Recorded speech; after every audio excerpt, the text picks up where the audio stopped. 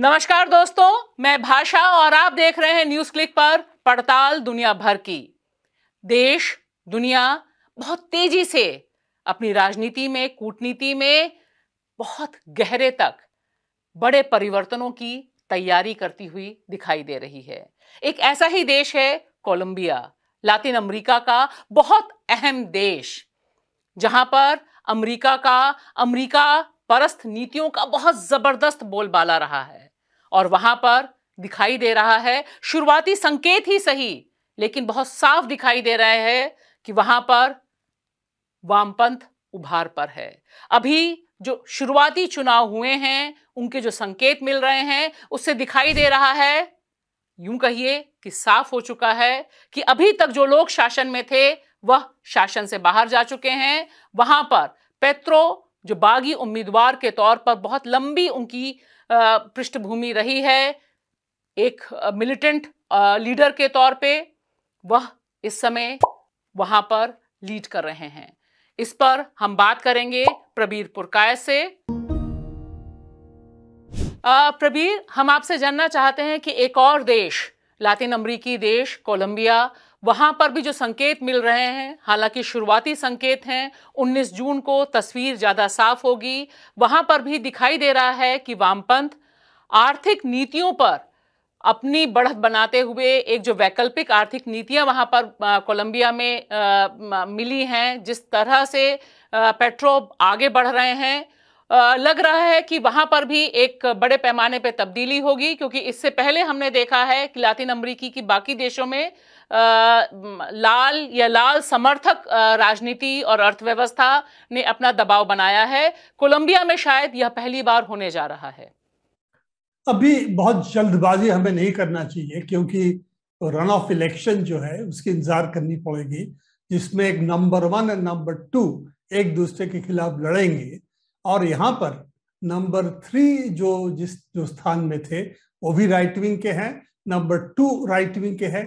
उनकी दोनों की वोट अगर मिलती है तो क्या होगा? वह भी बताना मुश्किल है, पर इसमें कोई दो राय नहीं, जो आपने कहा कि कोलंबिया एक बहुत महत्वपूर्ण देश है लैटिन अमेरिका इसीलिए कि एक ऐसा बड़ा देश है, जो कभी भी वामपंथ की रुझान नहीं दिखाया अभी तक। वहाँ पर बड़े लंबे अरसे तक वहाँ पर एक आर्म स्ट्रगल भी चला जिसकी शांति की काफ़ी पहलकदमी हुई। ने वो जो अभी प्रेसिडेंशियल कैंडिडेट है वामपंथ की तरफ़ से वो भी उस, पेट्रो हाँ पेट्रो भी उस उन इन उन क्रांतिकारी शक्तियों में जब जवान थे तब शामिल थे बहुत दिन से वहाँ से हट गए। और उन्होंने शांति की बात करी और ये जो शांति की बात जो इनकार करने वाले तत्व हैं, वही पिछले 20 साल तक वहाँ पर शांति की वार्तालाप के बाद भी अपना राज चलाए और शांति की जो शर्तें थी, वो पूरी नहीं करनी थी, जिसको उरी प्रेसिडेंट उरीबी की, उरीबे की सरकार, उसकी पहलकदमी से बीस साल ये शांति का जो वातावरण था उसमें अड़चन डालने की कोशिश की।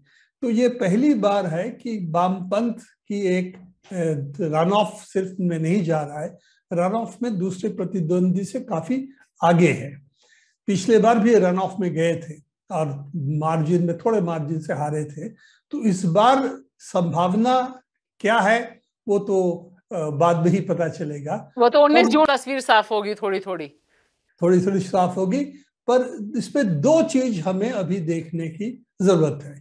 एक तो है कि लैटिन अमेरिका में काफ़ी बड़े पैमाने पे लेफ़्ट ताकतें फिर वापस आ रहे हैं। अभी मेक्सिको में हमने ये देखा है, दूसरे देशों में देखा तो है ही, और ब्राज़ील में भी संभावना ही है कि लूला जो है फिर जीत के आएँगे और बोल्सोनारो हारेंगे। अभी तक जो संकेत मिल रहा है कोलंबिया ये पहली बार इस तरह से वामपंथी रुझान दिखा रहा है। इसीलिए एक बहुत बड़ी बात है कि अगर कोलंबिया में भी यह परिवर्तन होता है।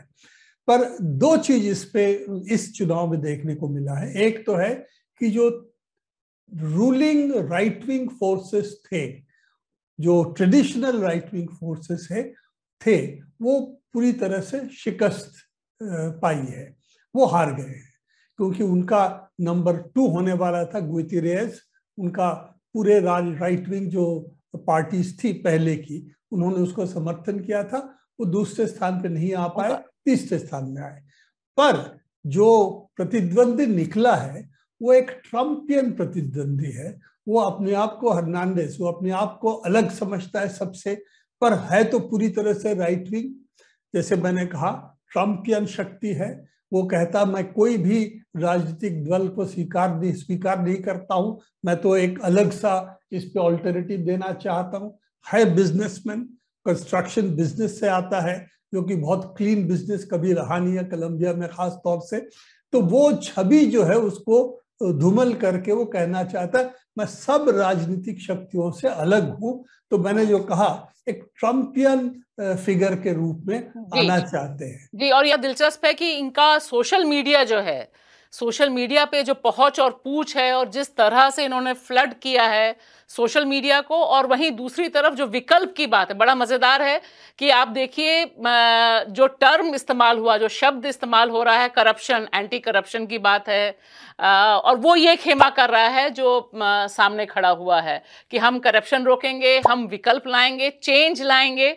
तो मुझे बहुत कुछ भारत के संदर्भ में कई चीज़ें याद आ रही थी कि ये शब्द जो जन आंदोलनों के शब्द रहे हैं उनको कैसे दूसरे ढंग से इस्तेमाल किया जाता है? तकरीबन दिखाई दे रहा है कि कोलंबिया में ये जो समूह है ये जो ग्रुप है ये ऐसे ही इस्तेमाल कर रहा है। आ, हाँ, वो ट्रंप की शक्ल इसीलिए मैंने बताया वो भी अपने आप को कहता मैं पॉलिटिकल सिस्टम के बाहर हूँ मैं पूंजीपति हूँ इसीलिए मैं मुझे पैसे लेने की ज़रूरत ही नहीं है मैंने तो अपना ही पैसा लगा रहा हूँ। तो जो जो वहाँ पर की जो बातचीत है कि पूंजीपति ही ऑल्टरनेटिव बनेगा, क्योंकि वो करप्शन नहीं चाहता है, क्योंकि खुद ही उसके पास पैसे हैं। तो ये जो एक क्या क्या लफाजी है, क्योंकि हम जानते हैं कि पूंजी ही करप्शन का जड़ है। तो ये जो चीज़ें हैं, ये ये इसीलिए मैंने इसको ट्रम्पियन शक्ति ट्रंप बुल्सनारो जैसे फिगर जो अपने आप को ऑल्टरनेटिव राइट विंग फोर्स मानते हैं, उसका ये प्रतीक है। एक चीज़ मैं आपसे संक्षेप में जानना चाहूँगी कि मैक्सिको, पेरू, चिले, होंडरस और अब जो ब्राज़ील में होने वाला है, इन तमाम जगहों पे जो आर्थिक नीतियाँ रही हैं, उदारवाद की, पूंजीवाद की, वह एक बहुत बड़ा सबब रही परिवर्तन के लिए या वाम या प्रगतिशील झुकाव के लिए। तो ऐसा दिखाई दे रहा है कि इस पूरी पट्टी में इन नीतियों के खिलाफ लोगों में आक्रोश है तो क्या आपको लगता है कि ये जो चेंज दिखाई दे रहा है उसमें वाम आ, का विकल्प लोग इसलिए तलाश रहे हैं क्योंकि वही एक विकल्प इन नीतियों पर आर्थिक नीतियों पर एक जवाब देने की स्थिति में आ रहा है। ये आ, जी। ये तो ज़रूर ये बात है कि आम जनता में ये असंतोष है कि हमें जो राजनीतिक फल मिलनी चाहिए आम जनता को कि शोषण कम हो, हमारे पास पैसे हो हेल्थ सिस्टम सुधरे एजुकेशन मिले, ये सब तो बुनियादी डिमांड्स है ही लोगों का। पर कोलंबिया में इसके साथ साथ ये भी है और दो चीज़ है। एक तो है कि जो लंबी लड़ाई रही है वहाँ पे, वो शांति कैसे कायम की जाए रीअप्रोचमा कैसे हो लोगों के बीच में ये एक बहुत महत्वपूर्ण सवाल वहाँ पे है, जो राइट विंग वहाँ नकारना चाहता है, और ये जो अभी प्रतिद्वंदी के रूप में निकला है, हर्नांडेस, उनका भी यही कहना है कि हम इस तरह की शांति नहीं चाहते। तो एक तो ये है, शांति और समाज के अंदर एक फिर लोग जुड़े, ये एक बहुत बड़ी इशू कोलंबिया में है। दूसरी बात, पहली बार वाइस प्रेसिडेंशियल कैंडिडेट को देखिएगा वहाँ पर सिर्फ़ औरत ही नहीं है, वो उसकी एक अफ्रीकन ओरिजिन है, जो कि लैटिन अमेरिका में लोग इसको नजरअंदाज करते हैं कि बहुत बड़े पैमाने पे वहाँ स्लेब्स को लाया गया था और इसीलिए वहाँ पर बहुत सारे लोगों की अफ्रीकन रूट्स है और वो आइडेंटिटी है। तो ये अफ्रीकन आइडेंटिटी लेके वो आई है आई है, और इसीलिए ये भी एक बहुत महत्वपूर्ण घटना है कोलंबिया के इतिहास में, जो बहुत ज़्यादा अमरीकी परस्त रहा है, बहुत ही राइट विंग रहा है, बहुत ही पूंजीवादी सिर्फ़ नहीं, पर पूरी तरह से वहाँ जो लैंडेड स्टेट्स है, उनकी पक्ष में रहा है, इस सब चीज़ में फर्नांडिस उनके साथ है। जी। तो चलिए हम निगाह रखेंगे कि गुस्तावो पेट्रो किधर जाते हैं, क्या बहुमत मिलती है, क्या कोलंबिया के इतिहास में फिर पहली बार लाल लहराएगा कि नहीं लहराएगा, ये हम आप इस पर निगाह रखेंगे और अगर ऐसा कुछ होगा और नहीं भी होगा तो फिर 19 जून के बाद फिर इस पर हम चर्चा करेंगे। प्रवीर, फिर से चलते हैं, यूक्रेन, रूस और बाकी जो यूरोपीय देश और अमेरिका घिरा हुआ है चारों तरफ़ से, घेर रखा है पूरी दुनिया को, अर्थव्यवस्था, तेल। जिस तरह से इस समय जो संघर्ष चल रहा है यूक्रेन में, क्या आपको जो आशंकाएँ हैं, क्योंकि आशंकाएँ बहुत तेज़ी से बलवती हो रही हैं, तेल को लेके जो आशंकाएँ हैं, बाकी आस पड़ोस के देशों को लेकर, जिस तरह से तमाम देश इसमें कूद पड़े हैं, खुलकर आ गए हैं, होगा क्या, किस तरफ़ यूक्रेन संघर्ष जा रहा है? देखिए, ये जो पहली प्रचार थी कि यूक्रेन जीत रहा है, रूस हार रहा है, ये तो ये स्वर तो कम से कम मेन जो अमेरिकी न्यूज़पेपर्स है, उससे भी धीरे धीरे गायब हो रहा है।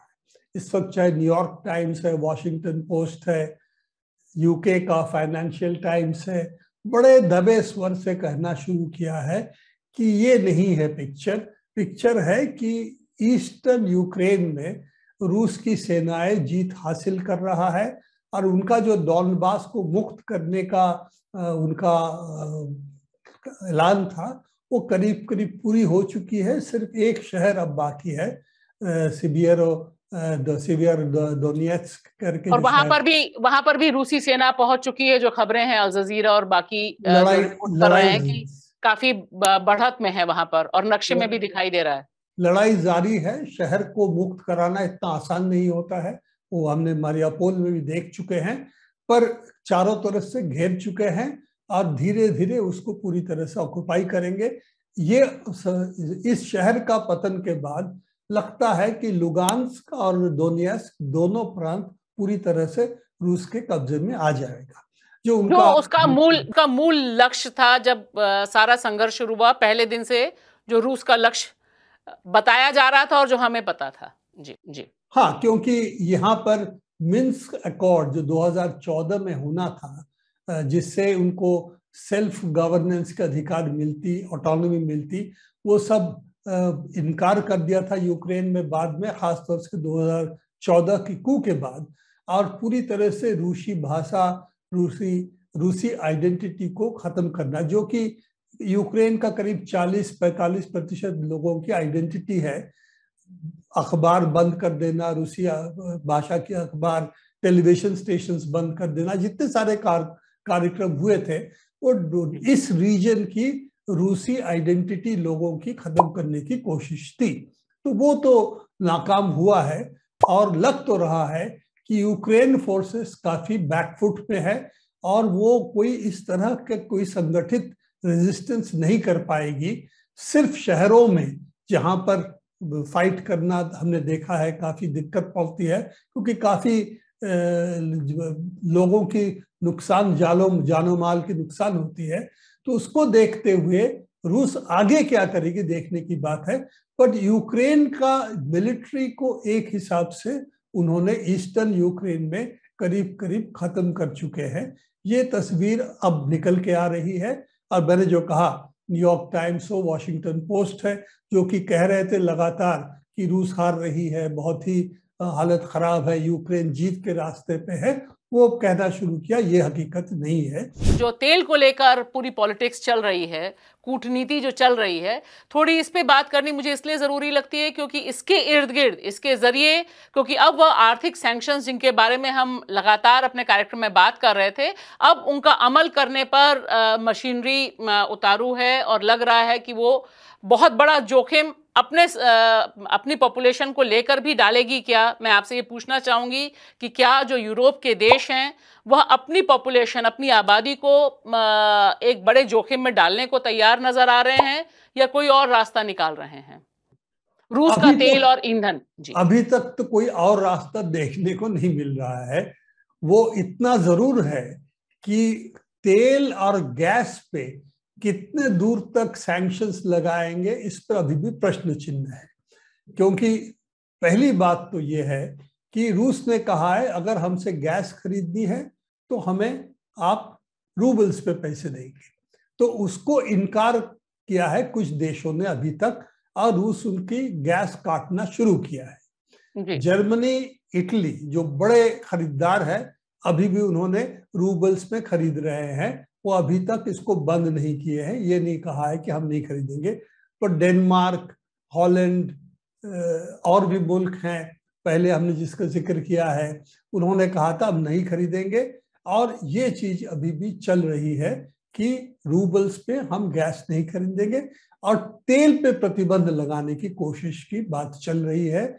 यूरोपियन यूनियन में अभी भी इस पे सहमति नहीं है। हो सकता है एक, दो, चार दिन में इसके ऊपर सहमति हो जाए। और रूस की ऑयल एक्सपोर्ट्स में भी साल के अंत तक कहा है कि उन्होंने उसको ऑयल एक्सपोर्ट्स भी वहाँ से वो बंद कर देंगे वो बंद कर देंगे हाँ। बंद कर देंगे खरीदेंगे नहीं तो सवाल है कि दोनों चीज़ यूरोप के लिए क्यों खतरनाक है क्योंकि यूरोप की जो बड़ी इकोनॉमीज है चाहे वो जर्मनी हो चाहे इटली हो चाहे स्पेन हो वो काफ़ी हद तक गैस और तेल पे रूस की गैस और तेल पे डिपेंड करता है तेल फिर भी हो सकता है ओपेक देशों से, दूसरे देशों से मिल जाए, पर गैस मिलना इतना आसान नहीं है क्योंकि वो आता है पाइपलाइन से। उसको अगर एलएनजी में परिवर्तन करना है, उसकी पूरी इंफ्रास्ट्रक्चर बनानी पड़ेगी, टैंकर्स मिलनी चाहिए और सप्लायर्स होनी चाहिए जो इतने बड़े पैमाने पे उस रूसी गैस को सब्सिट्यूट कर पाए। तो ये लगता है कि चाहे वह जर्मनी हो, चाहे फ्रांस हो, चाहे स्पेन हो चाहे इटली हो, सब एक ऐसे रास्ते पे जा रहे हैं कि वो अपने इकोनॉमी को भी जोखिम में डालने के लिए तैयार है।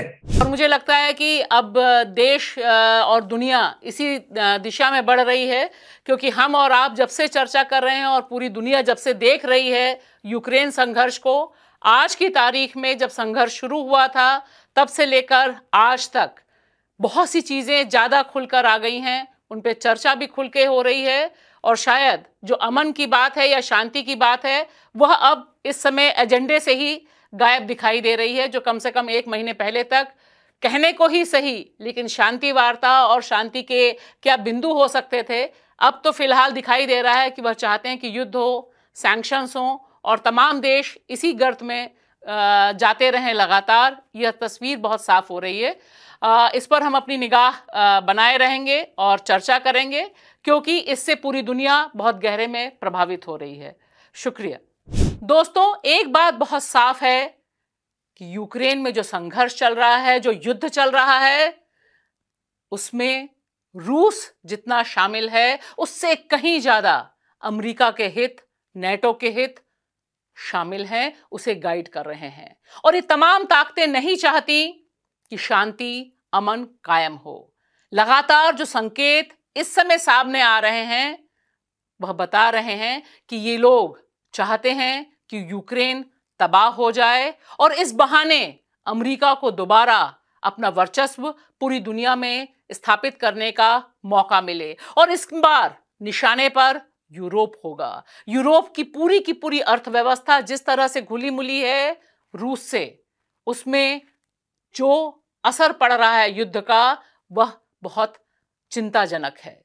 निश्चित तौर पर हमें और आपको सोचना चाहिए, जुड़ना चाहिए, बात करनी चाहिए, शेयर करना चाहिए कि देश और दुनिया में शांति हो, शांति की क्या राह निकले। इसके लिए हमें और आपको फिक्रमंद होना बतौर ग्लोबल सिटीजन बेहद ज़रूरी है। शुक्रिया।